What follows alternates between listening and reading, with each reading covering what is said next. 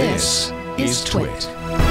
So um, calls have been pouring in. Yes. We've got a traveler, David in Anaheim. He's trying to use his Google Maps on his trips, and it's trying to take him one route, and he doesn't want to go that way. Oh, I hate it when that happens. Yeah, he's like they're Yeah. trying to take him the fastest way. He wants to go the scenic way. I He want the wants to- scenic route, Yeah, he wants to says. see if he can bypass that. All right. You help him? Yeah, well, I don't know. Line four. I'll try. Thank you. Thank you, Kim. To line four we go. David in Anaheim. Hi, David. Hey, Leo. hey, yeah, I've been having a problem. I just want to take the scenic route, like you were just Yeah, talking about. I, funny. I even went to Verizon; they couldn't help me out. Well, I- there are instance, settings in Google Maps that say uh, avoid highways. That might start. That might be a good start. Okay, uh, but my first example would be I, I just want to go to Portland to visit my brother. I live in Anaheim, and I want to go via the 101. Now, there's alternate. There's a thing for alternate routes, but it's always like these obscure Highway 58 I see. or You Highway do want 40. you do want to go on the highway, but you just want to go. so- you don't want to go five, which is the fastest. You Right. you would Now, like on to. My, on my desktop, I can do that by you just bring it up and you drag the highway. right. You put your cursor on the highway and drag it over, but there's Right. no ability on your phone to do that. And I, I want to take advantage of the real time and the traffic on my phone. And I'm wondering if you have any uh, any an cure for this. interesting.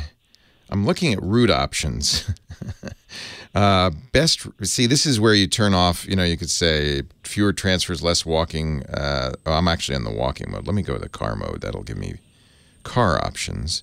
I don't see anywhere though that it says take Highway 101. Only avoid highways, avoid tolls, avoid ferries. Um, that's the customization. I guess what you because you think the alternate the alternate routes would include Highway 101 because that's a pretty major highway, Yeah. just like the five, yeah. but it does not. Yeah, in fact, I'm looking at how I would drive down to Anaheim from here. And of course, I have to get on 101 to start, but then it immediately takes me all the way over to 5 and the for the rest of the way. That is the fastest route.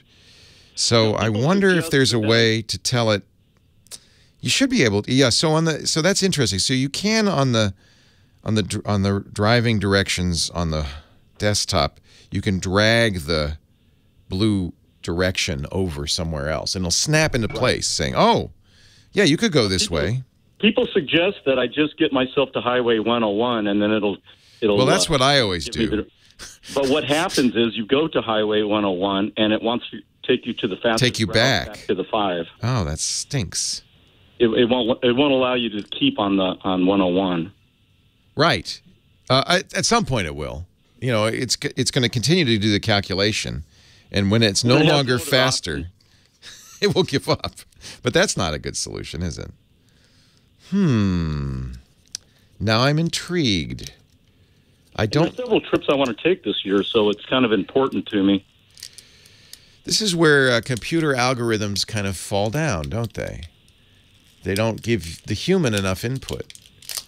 Um, I'm not sure why they chose to do it that way, except uh, it's easier.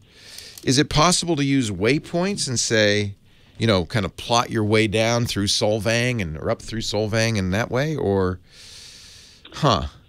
What do you do in New? So I'm I'm looking at people in New York. Some of our chat roomer folks are in New York. That's a place where there are multiple ways to get anywhere, and you may, as Mike B says, I like the Tappan Zee Bridge. you may have a bridge that you prefer. How would you? Uh, you have to just add waypoints. You have to kind of put drop drop dots. Wow, seems like a lot of work. Well, you could say, uh, John's saying the way he does it is he sets a destination on the 101. So he says, I'm going to go to Crescent City. There's no way to get there easily on 5. It's direct shot from 101. It's on the way to Portland.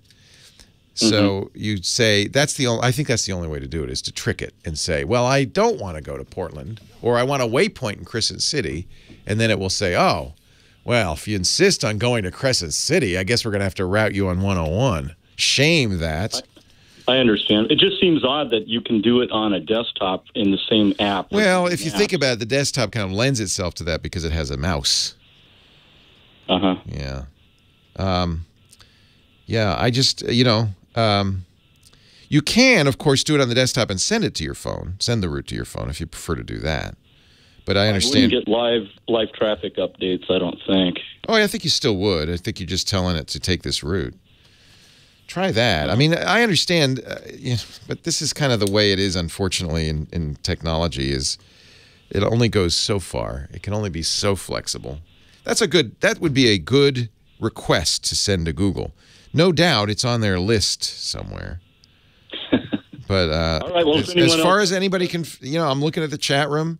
Anybody knows, you can call 8888 Ask Leo. But as far as anybody knows, the only way to do this is the not such a bad. It's not such a bad trick to say pick intermediate points along the way that would force that. Uh huh. Okay. Okay. I'm sorry. I'm. I'm going to turn over. Yeah, he sounds disappointed. I think I've let you down. I'm sorry. I'm so sorry.